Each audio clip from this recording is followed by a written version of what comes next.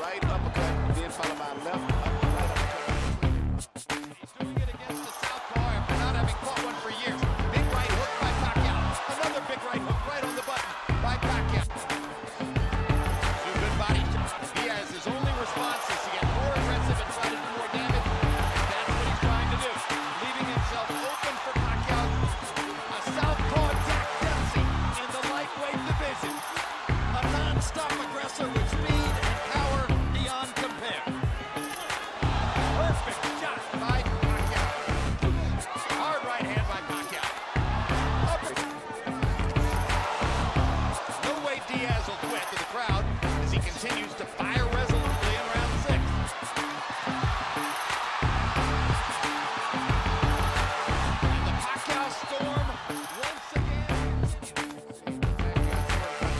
Burst of volume, and they're all coming from different angles, mixing up, and that's why it's so hard for Diaz to stop the punches because he's not just doing one punch or two,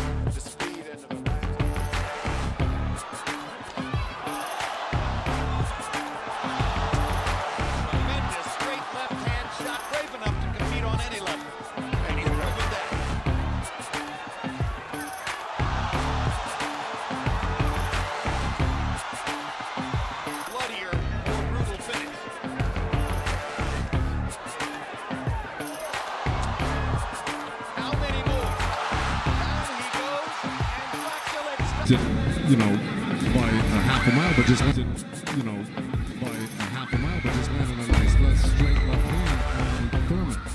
And Thurman started. Manny Pacquiao.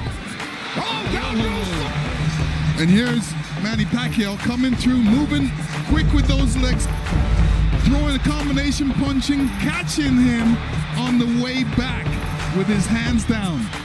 Right, here we go. Look, there's Pacquiao. He's rushing in right there, boom. And there's the hook that dropped him, but preceded by a straight left hand to the belly. You know, the Pacquiao's used that tactics many, many times. Now, now Thurman wasn't probably terribly hurt. It was a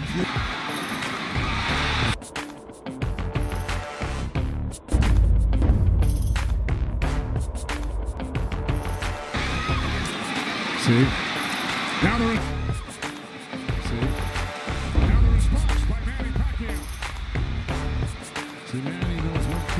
He's flicking out his right hand. That always precedes and, and oh boy, he's flicking out his right hand.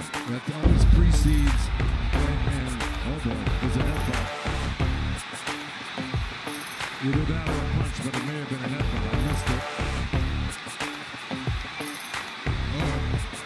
You can figure out what exactly what happened.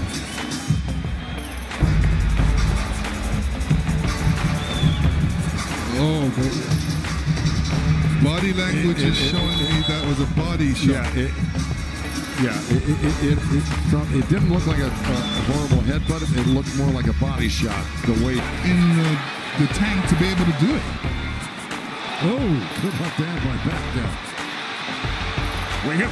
In the, the tank to be able to do it. Oh,